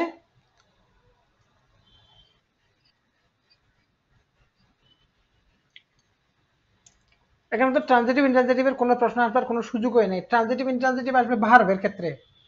রিড লুক স্লিপ ঠিক আছে? কিন্তু এটা তো আমি বুঝিয়েছি, এই এক্সাম্পল আমি কেন লিখেছি? ট্রানজিটিভ ইনট্রানজিটিভ বোঝাতে নয়। এই এক্সাম্পল আমি এই জন্য লিখেছি, আমি আপনাকে দেখিয়েছি সিনসিয়ারিটি একটা নাউন তার আগে প্রেপোজিশন দিয়ে এই এই প্রেপোজিশন আসার কারণে এই নাউনটা অ্যাডভার্বে রূপান্তরিত হয়েছে। এই জিনিসটা বোঝানোর জন্য এক্সাম্পল লিখেছি। এটা ট্রানজিটিভ ইনট্রানজিটিভের জন্য না। এখানে দ্য মর্নিং একটা নাউন দ্য মর্নিং নাউনটাকে আমি নাউন না বলে অ্যাডভার্ব কেন বলছি? নাউনকে কি অ্যাডভার্ব বলা যায়? হ্যাঁ। এই নাউনের শুরুতে প্রেপোজিশন আসার কারণে প্রেপোজিশন থেকে নাউন এই পুরো অংশটা এখন অ্যাডভার্বে রূপান্তরিত হয়েছে। সিনসিয়ারিটি একটা নাউন এই নাউনের আগে প্রেপোজিশন আসার কারণে এই নাউনটা এখন অ্যাডভার্বে রূপান্তরিত হয়েছে। এই ব্যাপারটা বোঝাতে। Fahim reads chemistry in the morning তাহলে এখানে দেখেন মর্নিং একটা নাউন ইন আসছে। তাহলে দেখেন সাবজেক্ট এটা ভার্ব এটা অবজেক্ট কিন্তু ইন দ্য মর্নিং এই পুরো অংশটা তো মডিফায়ার আর মডিফায়ার মানে তো অ্যাডভার্ব অ্যাডভার্ব এবং একগুচ্ছ শব্দ হিসেবে এটার পরিচয় হচ্ছে অ্যাডভার্ব ফ্রেজ তাহলে এটা অ্যাডভার্ব কীভাবে হলো? এটা তো নাউন ইভেন বই পুস্তকে আপনি লেখা দেখবেন ফ্রেজের মধ্যে যেটা হেডওয়ার্ড থাকে, ওই হেডওয়ার্ড অনুযায়ী ওই ফ্রেজের পরিচয় হয়। কিন্তু এখানে হেডওয়ার্ড তো নাউন মূল শব্দ নাউন কিন্তু হেডওয়ার্ড দিয়ে না, অবস্থান দিয়ে আমরা এখানে আইডেন্টিফাই করলাম। একটা নাউনের শুরুতে প্রেপোজিশনে সেই নাউনটা অ্যাডভার্বে রূপান্তরিত হয়েছে। ওই জিনিসটা বুঝাইছি। আশা করি এতটুকুতে এতক্ষণে বুঝছেন। ক্লিয়ার কিনা বলেন?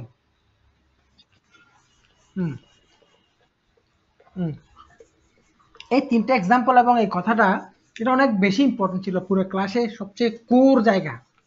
এই জায়গাতে প্রচুর স্টুডেন্ট অনেক পড়াশোনা করার পরেও কনফিউশনে ভুগে। আশা করি আজকে আমার কথা যারা শুনছেন, আপনাদের সমস্যা হবে না। তাহলে আমরা এজেটিভের সাথে লিঙ্কিং ভার্ভের একটা সম্পর্ক পেয়েছি।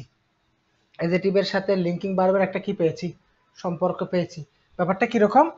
লিঙ্কিং ভার্ব লিঙ্কিং ভার্ব তাহলে এখানে আমরা দেখতে পাচ্ছি একটা সাবজেক্ট বসবে, তারপরে একটা ভার্ভ বসে, অর্থাৎ ভার্ভ মানে কি? কি ভার্ব লিঙ্কিং ভার্ব একটা কি ভার্ব বসে? লিঙ্কিং ভার্ব এরপরে এখানে যেটা আসে, ওটার নাম হচ্ছে কি? কমপ্লিমেন্ট কমপ্লিমেন্ট তো কমপ্লিমেন্ট লিঙ্কিং ভার্বের পরে কোনো অবজেক্ট আসে না।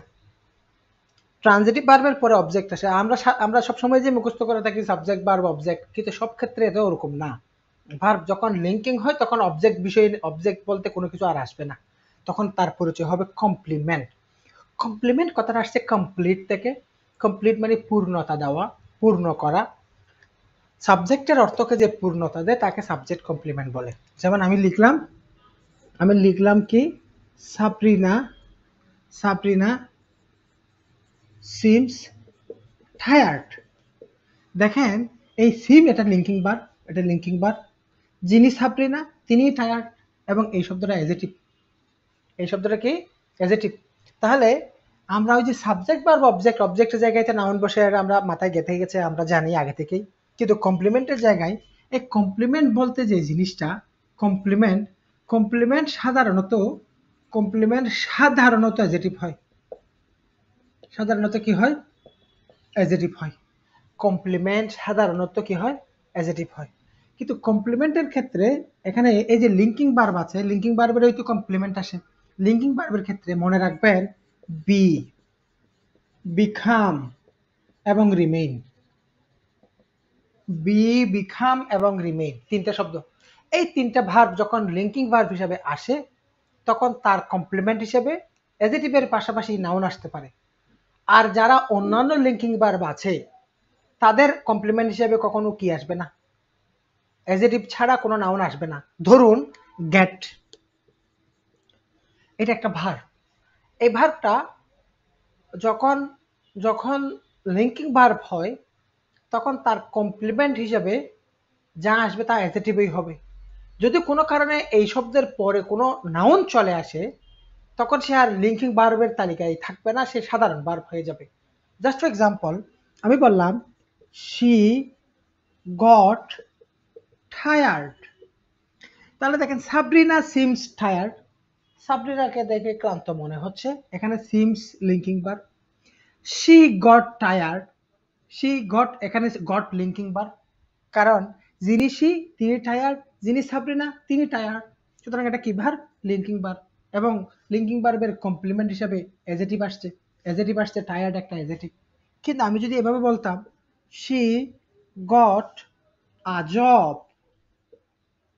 তাহলে দেখতে পাচ্ছি গেটের পরে এখানে একটা নাউন চলে আসছে জব তো একটা নাউন তার মানে স্যার গেট যদি লিঙ্কিং বার্ব হয়, এখানে এজেটিভ বসছে লিঙ্কিং বার্বের কমপ্লিমেন্ট হিসেবে এজেটিভ বসে। তাহলে গেটের পরে এখানে এজেটিভ বসছে, এই বার্বটা কি লিঙ্কিং বার না, এই বার্বটা সাধারণ বার এই বার্বটা ট্রানজিটিভ বার সাধারণ না লিখে আমি লিখলাম কি? এটা কি বার ট্রানজিটিভ বার্ব কারণ এখানে একটা অবজেক্ট আসছে। তার মানে লিঙ্কিং বার্বের কমপ্লিমেন্ট হিসাবে কি বসবে? এজেটিভ বসবে। এবং বি বিখাম এবং রিমেইন এই তিনটা লিঙ্কিং বার্বের কমপ্লিমেন্ট হিসাবে এজেটিভের সাথে সাথে নাউন আসতে পারে। কিন্তু অন্যান্য যারা লিঙ্কিং বার্ব আছে, তাদের কমপ্লিমেন্ট হিসাবে অলওয়েজ কি বসবে? এজেটিভ বসবে। তার প্রমাণ হচ্ছে, এখানে গেট এটা লিঙ্কিং বার্ব কিন্তু এই গেটের পরে নাউন আসার সাথে সাথে এই গেট আর লিঙ্কিং নাই। আরও খেয়াল করেন, জিনিসই তিনি টায়ার্ড কিন্তু জিনিসই তিনি কিন্তু জব না। এই জন্য এটা ট্রানজিটিভ বার আমি বুঝাতে পারছি কথা? বুঝছেন কিনা দেখেন? হ্যাঁ তাহলে তাহলে আমরা দুইটা পয়েন্ট পেয়েছি। হ্যাঁ লিঙ্কিং বার্বের সাবজেক্টের পরে লিঙ্কিং বার বসবে লিঙ্কিং বার্বের কমপ্লিমেন্ট আসবে। এবং কমপ্লিমেন্ট এক নাম্বার পয়েন্ট হচ্ছে সাধারণত অ্যাজেটিভ হয়। কমপ্লিমেন্ট সাধারণত অ্যাজেটিভ হয়। যেমন আমি উদাহরণ দিয়েছিলাম Sabrina Sabrina looks Sabrina looks hot তারা দেখে খুব সুন্দর লাগছে হট হ্যাঁ? তাহলে যিনি সাবরিনা তিনি হট সাব অ্যাজেটিভ হ্যাঁ? এবার এবার দেখেন, দ্বিতীয় পয়েন্ট যেটা, সেটা হচ্ছে যিনি সাবজেক্ট বা অবজেক্ট সাবজেক্ট বা অবজেক্ট এভাবে কি এখানে আসবে কিনা? না, এখানে সাবজেক্ট বার কমপ্লিমেন্ট ওভাবেই আসবে কারণ এদের পরে নাউন বসতে পারে। যেমন বি হচ্ছে is am is are was এর, না? আমি লিখলাম সাবরিনার জন্য লিখলাম she she is she is smart দেখেন, যিনি শি তিনি স্মার্ট যিনি শি তিনি স্মার্ট এবং এটা লিঙ্কিং বার এটা লিঙ্কিং বার এবং এটা এজেটিভ এটা এজেটিভ আচ্ছা কিন্তু আমি যদি লিখি শি ইজ আ স্টুডেন্ট এই কথাটা কি শুদ্ধ না? অবশ্যই শুদ্ধ। তাহলে এখানে স্যার স্টুডেন্ট আসলো কেমনে? সাধারণত এজেটিভ বসে বলছেন। আমি তো বলেছিলাম বির পরে বি বিকাম এবং রিমেইন এর কমপ্লিমেন্ট হিসাবে হিসাবে এজেটিভ প্লাস নাউন উভয়ই বসে। উভয়ই বসে, এটা হচ্ছে দ্বিতীয় পয়েন্ট হ্যাঁ এই জন্য এই যে ইজের বির পরে বি বির পরে এজেটিভ কমপ্লিমেন্ট নাউন কমপ্লিমেন্ট আশা করি মনে থাকবে, আশা করি বুঝছেন। রিমেইন বিখাম একই রকম এক্সাম্পল যেমন আমি আমি যদি লিখি, আমি যদি লিখি, মনে করেন শি ইজ মনে করেন শি বিখাম আমি লিখলাম শি বিখামস ক্যাপ্টেন দেখেন, যিনি সে তিনি ক্যাপ্টেন এবং ক্যাপ্টেন তো নাউন তাহলে ক্যাপ্টেন এই এই এই ভার্বটা কি বার এটা একটা লিঙ্কিং বার লিঙ্কিং বার এটা, এবং এই শব্দটা নাউন এবং এটা কমপ্লিমেন্ট কমপ্লিমেন্ট হিসেবে এখানে নাউন আসছে। কিন্তু আমি যদি লিখতাম, কথাটা এভাবে লিখতাম, আমি লিখতাম শি বিকামস আবার ওই সহজ এক্সাম্পল দিচ্ছি টায়ার্ড দেখেন, যিনি শি তিনি টায়ার্ড এবং এটাও একটা কমপ্লিমেন্ট এখানে এই শব্দটা অ্যাজেটিভ এই শব্দটা নাউন তার মানে বিকামের পরে এ- এখনও সে লিঙ্কিং বার এখনও সে লিঙ্কিং বার কেন? বি বিকাম রিমে তিনটি শব্দের পরে নাউন এবং অ্যাজেটিভ উভয় শব্দই বসতে পারে। এখানে আমি সময় দিয়েছি, কারণ এখান থেকে সবচেয়ে বেশি পরীক্ষায় প্রশ্ন আসে। এডুকেশন ইজ এনলাইটেনিং সাঁত্রিশ বিশেষ আসছিল, এর পরেও আসছে। এখান থেকে সব সময় প্রশ্ন আসে, কিন্তু স্টুডেন্টরা ধরতেই পারে না এই জায়গা থেকে প্রশ্নটা হয়েছে। ইংরেজিতে এই জায়গাটাতে এই সমস্যা। Most of the students they can discover they can understand that হ্যাঁ? কি? কি বুঝতে পারে না? What kind of particular problem existing in this specific question এই প্রশ্নটাতে সমস্যাটা কোথায়? এটা কোন জায়গা থেকে প্রশ্নটা করা হয়েছে? এক্সামিনার কি চাচ্ছে? এটাই স্টুডেন্টরা মোস্ট অফ দ্য স্টুডেন্ট ধরতে পারে না। তারা অ্যান্সার করে আন্দাজের ভিত্তিতে কমন সেন্সের ভিত্তিতে অনুমানের ভিত্তিতে। বুঝতে পারছি? সুতরাং এটা খুব দরকারি ছিল বলে গুরুত্ব দিলাম। আজকে ক্লাসেই শুরুতে বলেছিলাম। জি, বলেন।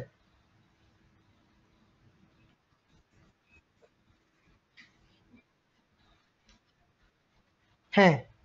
না ক্যাপ্টেন তো বেসিক্যালি নাউনই কমপ্লিমেন্ট হয় সে। সে কমপ্লিমেন্ট অর্থাৎ কমপ্লিমেন্ট হিসেবে নাউন আসছে। সাধারণত কমপ্লিমেন্ট হিসাবে এজেটিভ বসে।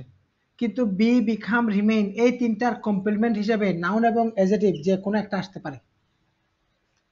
বুঝাতে পারছি? জি। তাহলে তাহলে আমরা দেখলাম এখানে দুইটা পয়েন্ট লিঙ্কিং ভার্ব হচ্ছে এমন একটা ভার্ব যে ভার্বের মধ্যে সাবজেক্ট এবং কমপ্লিমেন্ট অভিন্ন হবে। যিনি সাপরিনা, তিনি টায়ার্ড যিনি ফাহিম, তিনি স্মার্ট এরকম। আর এই এগুলোর পরে নাউনও বসতে পারে কমপ্লিমেন্ট হিসাবে অ্যাজেটিভও আসতে পারে। আরেকটা পয়েন্ট মাথায় রাখবেন, যখন আপনি দেখবেন কোনো একটা লিঙ্কিং বার্বের পর লিঙ্কিং ভার্ব লিঙ্কিং বার্বের পর যদি কোনো প্রেপোজিশন আসে লিঙ্কিং বার্বের পরে যদি কোনো প্রেপোজিশন আসে তখন এরপর আর কোনো নাউন এজেটিভ কিছুই বসবে না ভার্ব বসবে।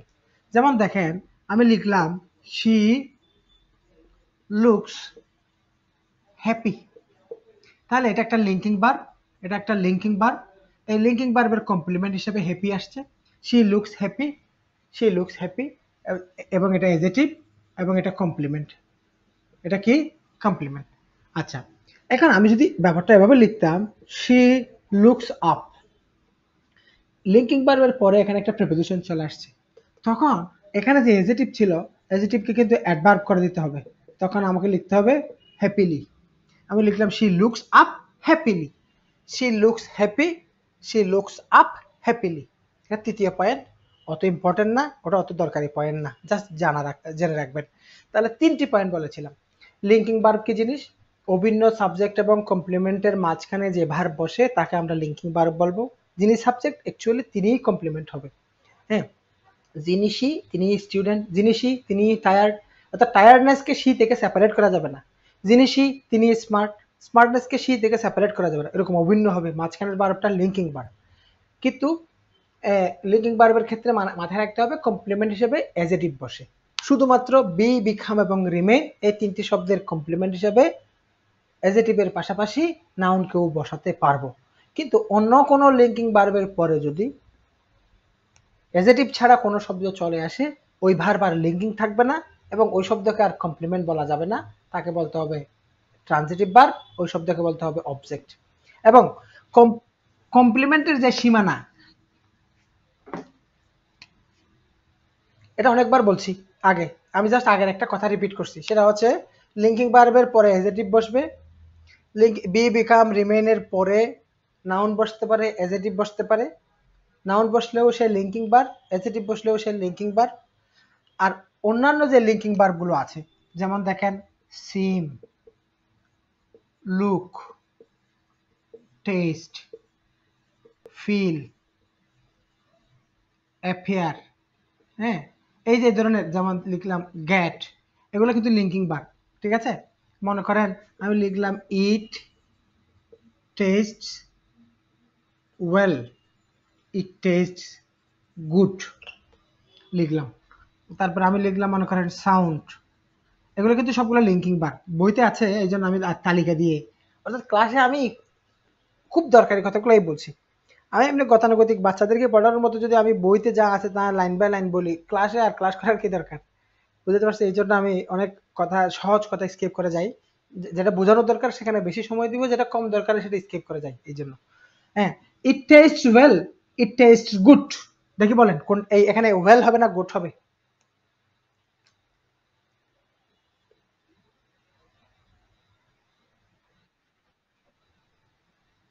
তাহলে এটা কি বার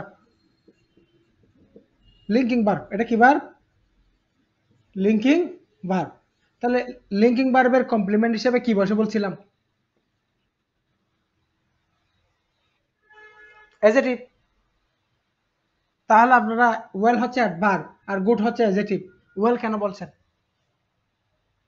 এখানে কি হবে? দেখছেন? দেখতে কত সোজা, কিন্তু আপনার মাথায় আসছে না যে আসলে কি হবে। অথচ আমি নিয়মটা বলছি। এখানে গুড হবে, ওয়েল ভুল, কারণ ওয়েল অ্যাডভার মনে করেন, আমি লিখলাম the food the food taste hmm bad তারপরে লিখলাম কি? ব্যাডলি আচ্ছা মানে খারাপ আর কি। ঠিক আছে ব্যাড বলেন, কি হবে?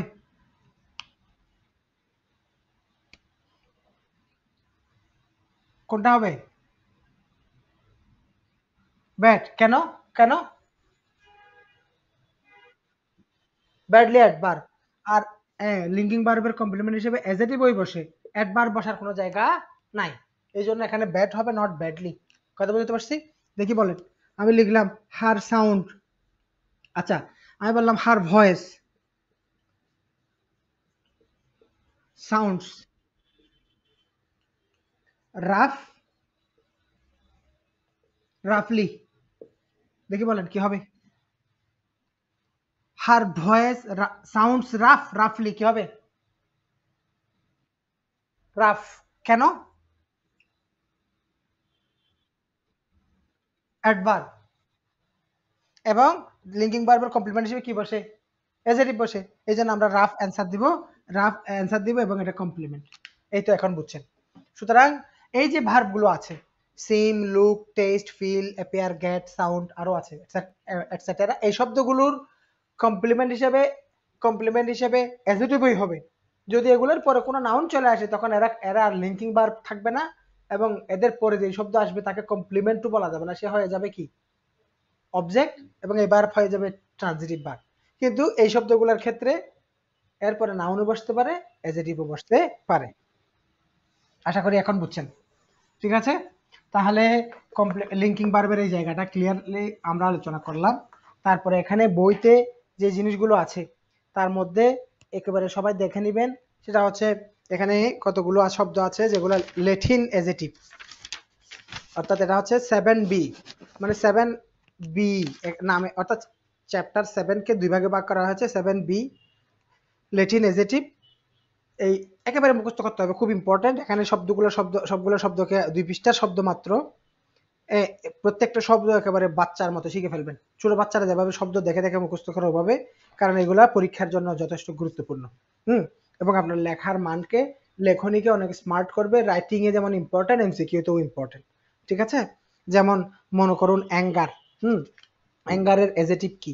লেটিন এজেটিভ হ্যাঁ? এভাবে বডি যেমন বডি একটা নাউন বডি মানে শরীর, তাহলে বডির এজেটিভ কি হবে? আপনার মাথায়, এখানে অনেকেই মুখস্থ হয়তো আসবে না যদি বই না থাকেন তাহলে বডির এজেটিভ দেখেন কর্পোরাল তাহলে কোথায় বডি কোথায় কর্পোরাল ঠিক না? অথচ দেখেন আপনি সাধারণভাবে একটা শব্দ বিলিভ নাউন তাহলে বিলিভ ভার বিলিভেবল এজেটিভ তাহলে বিলিভ থেকেই তো বিলিভ আসছে। কিন্তু বডি থেকে আসে নাই, অন্য শব্দ থেকে আসছে। বয় বয় মানে ছেলে। তাহলে বয়ের এজেটিভ কি? তাহলে এখন বয়হুড এটাও তো নাউন বয় আবার নিজে নাউন তাহলে বয়ের এজেটিভ কি? দেখেন পিউরাইল আলাদা শব্দ। তাহলে মুখস্থ করতে হবে। হ্যাঁ এভাবে ব্রাদার ব্রাদার মানে তাহলে ব্রাদার ব্রাদারিং হবে ব্রাদার লি হবে, কি হবে? টেনশনে পড়ে যাবেন। কিন্তু ব্রাদারের এজেটিভ কিন্তু ব্রাদারের সাথে রিলেটেড না, এটা হচ্ছে ফ্রেটারনাল আলাদা শব্দ। সো মুখস্থ করতে হবে এই শব্দ। খুব চমৎকারভাবে বাংলা সহ দেওয়া আছে, এটা দেখবেন। হ্যাঁ এবং এখানে প্রিভিয়াস এক্সারসাইজগুলোও দেওয়া আছে। এখান থেকে যে পরীক্ষায় প্রশ্ন আসে, এগুলো সহ এক্সারসাইজ করবেন। এরপরে দেখেন একটি নাউন দুটি এজেটিভ অর্থাৎ শব্দ একটা, তার দুইটা এজেটিভ আছে। হুম, আগামী ক্লাসে আমরা এক্সারসাইজগুলো ক্লাসের শুরুতে পাঁচ দশ মিনিট, এখানে যে প্রিভিয়াস কোয়েশ্চেন এগুলো আমি সলভ করে দিব। আজকে দাঁড়িয়ে ক্লাস নিয়েছি, দাঁড়ানোর মধ্যে শেষ করে দিচ্ছি। নাউন একটা নাউন যেমন দেখুন বয় বয়ের একটা এজেটিভ হচ্ছে বয়স আর একটা পিউরাইল একটু আগে বললাম। মনে করেন চাইল্ড চাইল্ড শব্দটা একটা নাউন তার দুইটা যেটি গ্রহণযোগ্য বা দুইটা ব্যবহার আছে। যেমন দেখেন চাইল্ডিশ অথবা চাইল্ড লাইক দুইটাই শুদ্ধ। কিন্তু এটার চাইল্ড শব্দের আবার এজেটিভ পিউরাইল শব্দটাও কিন্তু বয়ের মতো গ্রহণযোগ্য। অনুরূপভাবে দেখেন ফাদার ফাদারের এজেটিভ কি? ফাদারলি এটা আমরা ব্যবহার করি। কিন্তু তার আরও একটা এজেটিভ আছে, সেটা হচ্ছে প্যাটার্নাল এই জিনিসগুলো একটু দেখবেন। এই। এরপরে আছে লিঙ্কিং বার আবারও বলছি লিঙ্কিং বার খুব ইম্পর্টেন্ট একটা জায়গা। আমি আজকে খুব ক্লিয়ারলি জিনিসগুলো আলোচনা করেছি। লিঙ্কিং বার এখানে দেখবেন। এবং আমি লিঙ্কিং বার কয়টা আছে? প্রত্যেকটার তিনটা ফর্মের কনভার্সন সহ এবং এই যে লিঙ্কিং বার চেনার উপায় সহ এবং পিন পয়েন্ট এরর দিয়ে এই জিনিসগুলো আলোচনা করেছি। হ্যাঁ, খুব কম কথায় পরিপূর্ণ জিনিসগুলো আছে। আশা করব মনোযোগ দিয়ে সবাই বইটা পড়বেন। আবারও রিকোয়েস্ট রাখব যেদিন যে ক্লাস ওই ক্লাসের ওই চ্যাপ্টারটা পরে শেষ করে ফেলবেন পরের জন্য জমিয়ে রাখবেন না।